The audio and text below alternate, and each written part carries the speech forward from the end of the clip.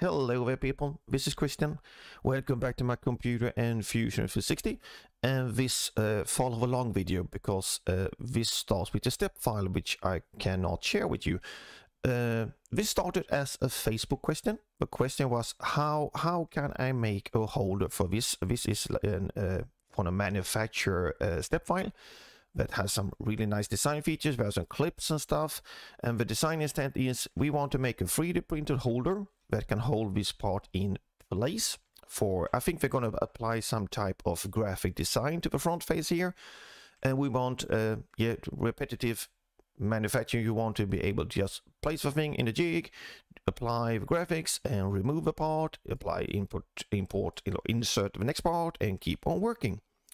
But there are some problems. We can see here, I made this angled because if we move this out again, we're going to look at the real part in a short while here. You can see that these tabs are slightly angled and the front face here has some major curvature. There's nothing strange about the curvature, but it's curved in two directions. It's hard like, how do I do things like this? Another thing, uh, this is just me adding some design intent. The face of the holder here is slightly below the top face, so we get no interference between these. We're gonna have a look at and do that. And uh, in this I added some chamfer and I did these uh, circular cutouts, which I will not do in this video, just simply circular cuts. So you have somewhere to grab the part without touching the front face like if you're going to apply graphics you're going to degrease or somehow clean up the front face you don't want to touch it with our dirty fingers. So let's see how we can do this. Uh, we're not just we are not going to start a new design. We're going to do slightly differently. We're going to open the step file. So we're going to do file we're going to do open open from my computer and find the step file. And simply do open or öppna in Swedish. I'm sorry that I'm using Swedish on my computer because I'm from Sweden. Here we have the step file. Very nicely imported. The thing you can notice now is that the timeline disappeared. That is always happens after you imported or open a step file. That is because there are some specific tools you can use with the timeline off, which you can't do with timeline on, basically direct modeling. But I will not in any way model on this step file. So I would immediately right click and say uh, capture design history. I want the timeline on so I can go back and forth. I need to change things. The second thing I'm going to do, I'm going to make a save in my video location uh, folder. 4 and this is a video name the files whichever way you want I have a massive clutter in this video location now with all the things I designed so I need to clean it up that's my problem anyway let's have a look at this design it's a very nice step font some of the things I'm looking at when I see the first one, I'm looking from the side here, we can see these tabs are like parallel in this direction. And if you look from the front, it's very nice. You can see this is most probably designed to be slide from the front straight back on something. But if we turn around, we can see we have some major curvature tree. But the whole intention is for this part to slide along the y-axis. So I need to do the cuts along the y-axis, but the jig I want to create should be aligned as close as possible to the front face of the part that is, of course, angled to the y and z axis. So this is how I do it. Uh, step one, so we have opened the part, but let's turn origin. It's slightly flying out in mid-air, so I will use a tool I rarely use, but I will do it now before doing anything else going to do mode modifying and use align tool just to keep things in place. Zoom in and I'm going to select the bottom face here. We get some capture points and I'm going to just get over so they light up, hold down control. You see this marker pops up. I'm going to select one that's roughly in the middle of a part. Zoom out, turn around, and I'm going to use the origin point here to secure things. I will not apply any angle or twist things because it was incorrect orientation. It just moves it down so it's on the origin point. Makes things a bit easier to see. There might be better ways to do this. Uh, if you have, please leave a comment. If you have questions about my workflow, leave a comment. I might skip things. So I now moved it into a reasonably good position, but it's still a body. And I now want to right click and do create component from bodies. I have a new component. I will immediately rename it. Where are you rename? There you are. Uh, M01 3C047 was the number. So that is our pod number to be here now. The good thing putting this is in a component is that I can now apply joints and do other stuff later to the design. So I will now just make a new component. We have now compartmentalized things. We have a part in one component. Right click, new component. We're going to name it, uh, can do holder, whatever name you want for it. And as you can see, uh, the other component becomes slightly translucent or see-through. That is in your preferences. You can change that if you want total visibility. I like it like this. If I do a design that's going to be built around or covering something, I mean, it's to me a bit easier to see. That's uh, up to your flavor of design. So, step one. Uh, I'm going to make the projections that I'm going to use for the cutouts or supports. I'm going to make the sketches first before I get too cluttered on the screen. So I'm going to create a sketch. We are now in our new component. You can see it's active. I'm going to open the up the browser, create a sketch, turn around, and we get to the front. And as I said earlier, oh, zooms in a straight way. From this direction, we see the front of the part, and that's very nice. Hit P for project. We're going to project in the body. So simply just click on the body, click OK, and we're going to hide the component, the, the part.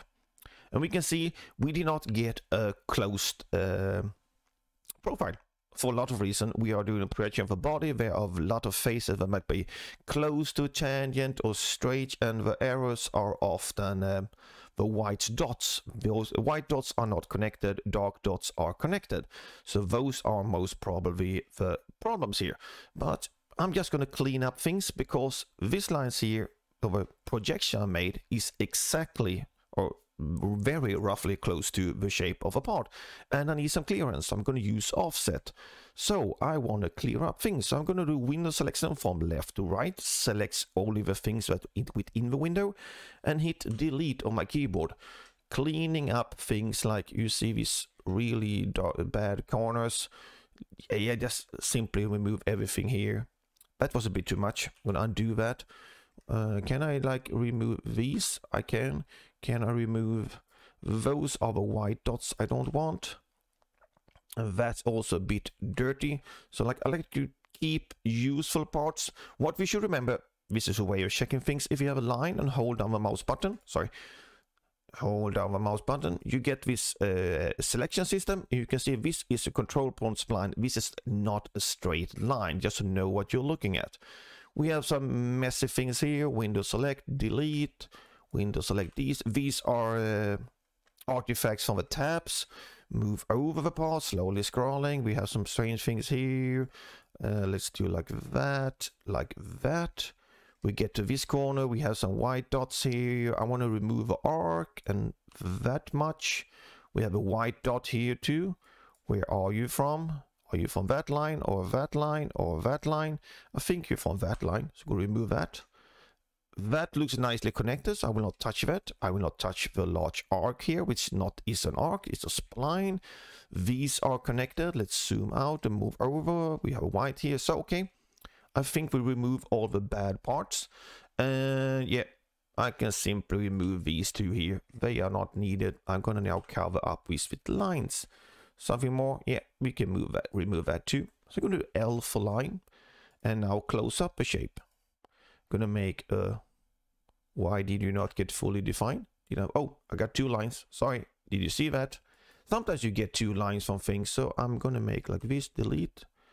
Gonna delete that, do a new L for line, select the point, be careful, and select the point, and we get a black line that's fully, it should be fully defined because it's between two fully defined points, so you should never get blue lines when you do this.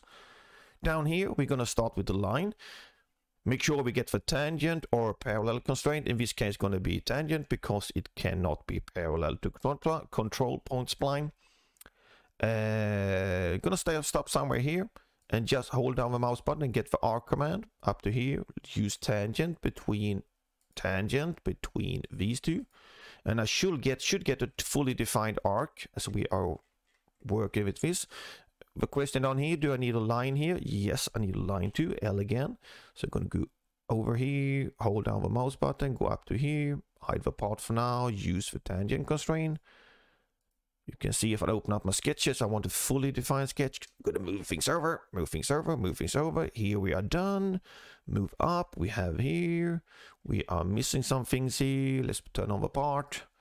Uh, oh, sorry, I hit escape by mistake. Uh, I will move this line too, clean it up a bit, do a line from here up, do an arc, use tangent, get the did that become fully constrained? No. The part. What's the problem? This line is not fully defined. So once again, tangent between this line and uh, go away component. Tangent between these two. Can I do that? I can't do that. Can we make it horizontal? Should be horizontal. Why are you not fully defined? Are there something else moving around? Sometimes Fusion do bad things. Can we do like that? We can do like that. Gonna play around a bit. Try to find if we can get it fully defined. Sometimes, nah, seems like Fusion doesn't like that arc. Anyway, uh, it can be that this is not really fully defined in all ways. Let's keep it like that. It still would work. Line, line from here to here, or I hope it would work. And we got our full profile. And that also become blue. Why are you blue? Oh, I don't want that one. Oh, once again, two lines, delete the line, start over, select one, move over and line. That's a bit of a naughty thing Fusion sometimes does. When you start a line, it produces two lines. And, oh, we get a fully defined sketch. For some reason, it now understands what we want to do. We have a fully defined profile. Gonna mark all of it and now turn it into construction geometry because I want to now do an offset. Uh, the line should still be selected now. You can see it's a bit blue, so hit O on the keyboard, and we get the offset. Here we have a bit of design intent. How much offset do we want looking straight on the part? We need to remember we're going to slide at a slight angle in, so the offset will be slightly lower due to the angle. Uh, but let's do it like 0. Point, oops, sorry, 0.5. No, let's do it 0 0.6 millimeters. So you get 0 0.6 millimeters clearance around the full part. Hit OK. So I'm going to finish sketch. So I'm going to rename this uh, projection, including offset, assembly projection, uh, outside body. Like that. I'm going to hide it, turn on our part. And now we're going to do the second projection. I'm going to create another sketch. In this case, I want the inner face of a part. So I'm going to P for project, select the inside face here. I make sure, oh, sorry, not body, because switches to specified entities. And make sure I get only the face of a part. Gonna hit OK. Turn around and gonna hide the part once again, or the original step. You can see we get some uh, white dots here and we need to fix them. I don't have a closed profile. So I'm simply gonna delete this line, move in, delete this line, select this line and hit delete, L on the keyboard and now close the profile. Close the profile. Close the profile. Yeah, close profile. Thank you. Escape to turn off the line command. window selection, switch it to construction geometry, you can see it's still selected O on the keyboard for offset. If Fusion can understand that I'm hitting the O key. So let's do that. Window selection, O on the keyboard for offset. Sometimes Fusion doesn't understand after you've done a selection. The second time you do a, a some type of feature with the keyboard shortcut, I don't know why. We're now going to move this inwards, of course, because uh, this is a projection of the inside face and we don't want uh, this is going to be the internal support and we don't want it to interfere with the bent corners of a part. So let's do that uh, minus one. And we get we can turn on the part and have a look. Turn on part. There you are. Uh, if we look from the back we can see you can see the faces here. You can see we are slightly inside everywhere. We are not touching anything. We are quite close to the tabs here. This can be a problem. So good looking from all direction. Maybe we should do this minus 1.5 so don't interfere with these. Or you could do some extra geometry to avoid if we want really close support for this. I'm going to match 1.5 so we don't uh, get snags on these little parties. Hit OK. I'm going to finish sketch. Hide the part a bit for now. I'm going to have a look. This is my sketch. Hide the sketch. And we're going to rename it. Now I don't want to edit the sketch. Sometimes Fusion is a bit naughty when you want to rename things. Okay, let's right click and do a rename instead. Uh, pro... Do a spot correction. Projection. Inside face. Inside face. Like that. Turn on our part and the sketches are disappeared. Let's turn on our component with the part in. So what we've done now, we have two here. These two are projection we're going to use for do the cutout and do the support. But we have not created our body or our basic body what we're going to work with. And I don't want to create the body in this direction. because It be really thick. I want to make the support as close as possible to the angle of the front face here. And now I need to do some decision decisions on which uh, you can see I have four points and four points does not construct a flat, pla flat plane but three points do so I can use three points from this face and my design intent is to make the plane as close as possible to the top edge here and the uh, edge further away here and this part that drops down here needs to drop down inside of the the holder slightly or do a slightly cut down so we're going to do construction. We're going to do a plane through three points. This can be a bit hard to see the points. I'm going to zoom in here and try to find a front point here. You can see there's a very faint white dot that pops on. I want to make sure I select on the front face. I'm going to select here. I'm going to zoom out. I'm going to move over to this corner here. Fine. Make sure I don't happen to select uh, inside points. So I want the point here. You can think you can see the point. It's where are you? Where are the intersection? It's out there. You can see there's a very faint white dot. I'm gonna select that one. And now move down as far as possible down here. Find this corner of the front face. And that is down here. Now get construction plane. Hit OK. If we have a look now, this is going to be like the flat orientation. This is the close I can get because the part is like curved and twisted at the same time. But this is, okay, this is how I want to do it. It's going to hit, we have a plane now. We're going to create a sketch on this the new plane. And I will do P for project once again, project in the body of the part, to hit OK, hide the part, you really don't need to clean up this, but I think it gets the sketch gets a bit messy. So step one, I'm to select everything, turn it into construction geometry, and I'm simply to delete this uh, projection of these holes here, project delete this corner, this corner, this corner, this corner, just to get the sketch a bit uh, cleaner, because I only want this reference for the square I'm going to make, a rectangle. So I'm going to make a large rectangle and now we can start dimensioning. D for dimension. From here to here, let's see, I want to have, uh, can we do 20 millimeters time? Let's do it 20. I want to have the same distance on this side from the part. 20. Sorry, I wanted this dimension, that dimension. So I don't need to type it in more than once.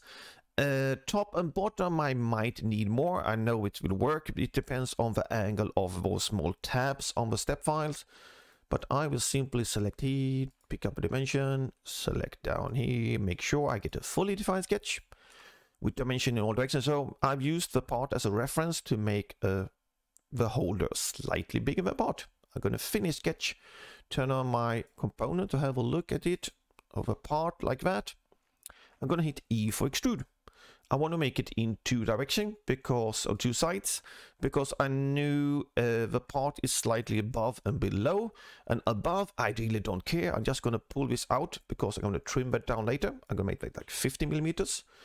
Now uh, in the other direction I need to be a bit careful. I want this to cover the tabs. You can see the tabs are disappearing and I want maybe a bit more so let, yeah, let's make it uh, 25 this of course can be edited later. I'm gonna do OK. And by that we have hidden our part. We can do a wireframe just to have a look. So okay, we are hidden our part inside. Thank you very much. I'm gonna remove that. I'm gonna make uh, that like that. Uh, we're gonna that. holder outline so we know what that sketch is doing. Gonna hide, uh, gonna do go back to normal uh, or shaded with visible edge. And of course, uh, I'm shading visual styles when jumping around between wireframe and different things. You have it down here, but I'm using the shortcut. I have a specific video on that, visible edges only. And I've hidden that sketch, and I'm gonna hide, hide this body. Because the problem, of course, is that the holder right now is covering the whole part. I now somehow want the top face of the holder to apply to the front face of a part here. So we're going to jump over to Surface Tools. Open up a body folder we can see things. We have our solid body here. We're going to make an offset face. You find it under Create or up here Offset. Gonna make sure I turn off chain selection all the main offset face of a complete body. I don't want that. I only want the front face here. Uh, a bit I'm creating right now is not visible. I know that because I hid the bodies, but I really don't care for now. The thing I need to think about is I would do a zero offset.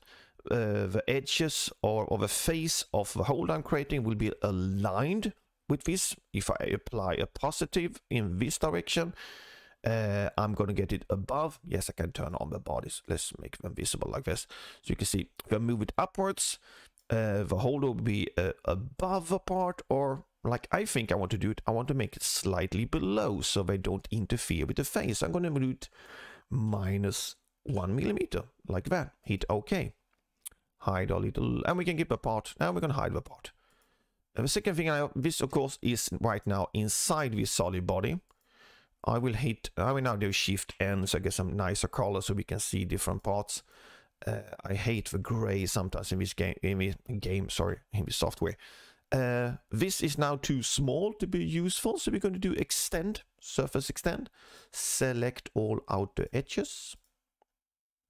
Dun, dun, dun, like that. And turn on our body. And we can see uh, the surface body is still totally inside of this. So what we will do, we now drag this. The good thing this is nice. I mean, this might not always work, but this was nearly nicely.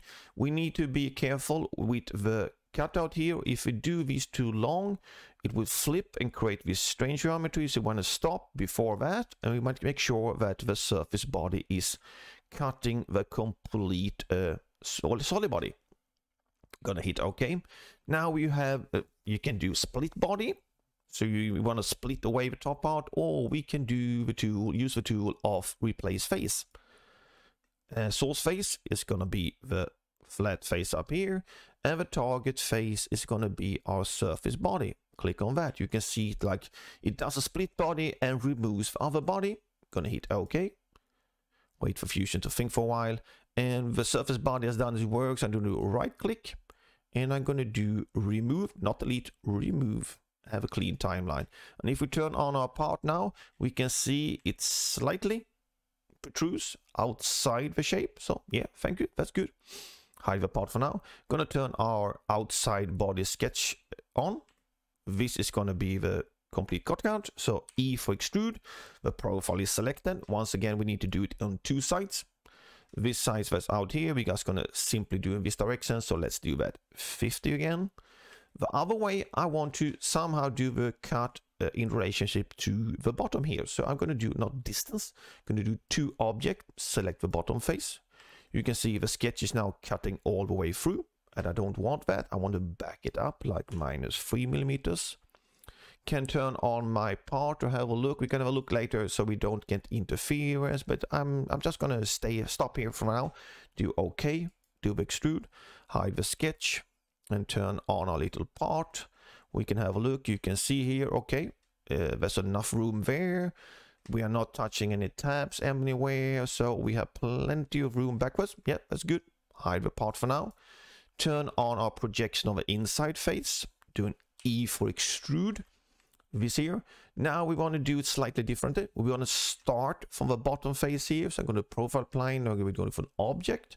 I'm going to start the extrude from this face and the distance is going to be to object hide the body we have here and turn on our part turn it around and the thing I want to select you can see it's ghosting where you're starting from I want to end up touching the inside face so I'm going to click on the inside face here you can see it extrudes, starts from the bottom and stops at the part. Right now it's a new body, so I'm going to turn on the visibility of this body here, hide the part for now, it doesn't need to be visible, and hit OK for join. Gonna hide the sketch. So what we have now, we have like the basic design of this. Now we can start, let's turn on this so we can have a look. It's looking a bit strange now, this is uh, translucent, so let's jump up to our base like here. And I forgot to save for a long while, so I'll do a save now. That's bad of me, I should really save more often. From here now we can do a couple of things, that, but this is a bit like in a really strange orientation. So I want to start using joints to move this part in a direction we can look at it. First of all, I want to create the joint between these two parts. So I will do an as built joint because I want to move, I don't want to move things around. It's a correct uh, position right now. As built joints. I'm going to select the two components, can do it in the browser. But I want this to be a slider. I want to be able to slide the part in and out. And Fusion is asking for some point and I will now hide the holder because what I want to use is the edge of these tabs happens to be the correct orientation. So we move the mouse over here until it finds this point here. You can see it snaps in. I don't want simply want to select the edge. I want this point here. I'm going to turn on the holder. Have a look. We can do a preview motion. Uh, that's look nice. Uh, but we want to limit the moment, limit the motion of a limit of limit the motion of a joint. Sorry. Uh, so let's see. I think that goes to minus 50. Oh, that's the wrong direction. Maximum needs to be 50. A minimum needs to be zero. So we preview the motion. We get this motion. We can of course make it to move it further away, let's do it 100. So we know, okay, now these two have a, a joint between each other. It's to hit OK. The second thing I want to do, this is like a stupid angle, so I do joint. I will select uh, the bottom here, just simplifying the point here. And the other one, I'm going to turn on the origin, select the origin point here. Let's see if I get the correct direction, like that. You can see it moves over that part. And of course, the motion in this case is rigid. I don't want to move it around. It's okay. And by we had applied the joint earlier, the part will follow along. Can hide the joint's visibility, hide the origin. And now we can take the part and move it in and out. And from here, I would keep on designing if I want to do uh, like uh, some chamfers good chamfer maybe all edges uh, oops not that one not the bottom edge uh, this face and this face with the 2 millimeter chamfer does that work yes and you can apply the cutouts and other things now it's in a orientation we can have a look at it and we have a joint that works so we can have a look at it we can do analysis to check if we have any interference Let's do it like that. We can move pins, things in and out. We can turn and to check if we have interference, of course, we have a tool for that. Interference. Select our two components and do compute. And it says no interference detected. Good, the parts are not touching that. It's uh, supported by this here, but they're not interfering in any way. So, this uh, was a bit of a messy video, I know. I just wanted to show you how I think and work with a thing like this. And as a small disclaimer, I'm a, what you might call a hobby user. I'm not a professional in CAD in any way. And from here you can like, okay, this cutout is maybe too deep. You can start uh, changing things like, do I need to make uh, the of this thick and so, but you have a starting point to play around. So I have hope you found something interesting and useful in this video. That said, Take care and see you around. Goodbye.